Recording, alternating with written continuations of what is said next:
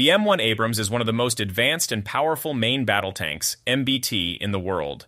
Described as the king of all tanks and used by the United States Army and several other nations. This tank is designed to defeat the enemy on the battlefield quickly and effectively, and has very strong protection. The M1 Abrams was first operated by the U.S. military in the 1980s and is still a mainstay in military operations today. Here are some of the greatness that makes the M1 Abrams tank one of the best tanks in the world. The M1 Abrams is equipped with modern technology that enables it to meet the challenges of modern combat speed and mobility. The M1 Abrams tank is capable of moving at a maximum speed of up to 67.6 kilometers per h and with a range of up to 426 kilometers. The M1 Abrams tank is equipped with a 120 mm caliber M256 main gun.